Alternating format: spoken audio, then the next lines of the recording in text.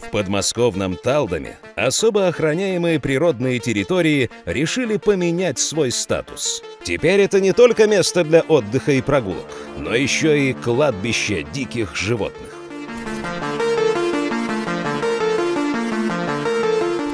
На автомобильных трассах нередко случаются происшествия.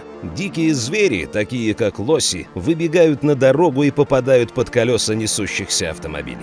Иногда смерть наступает сразу, а иногда не без помощи сотрудников заказника «Журавлиная Родина».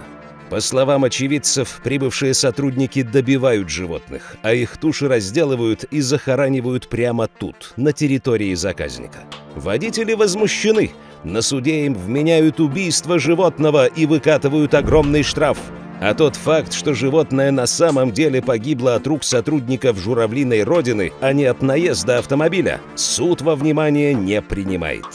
Талдомское охотхозяйство под э, руководством Смирнова Александра Андреевича неоднократно производит убийство или добивание лосей, которые попали в дорожно-транспортное происшествие.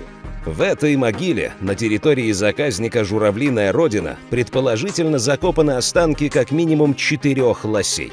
Ценные части тушек изымаются сотрудниками заказника и правоохранителями, а в землю закапывают останки.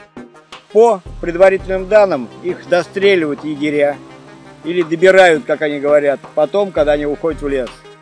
Это история на контроле прокуратуры и Всероссийского общества охраны природы. Мы будем добиваться тщательного расследования всех обстоятельств могильного дела и будем добиваться справедливого наказания для всех ее участников.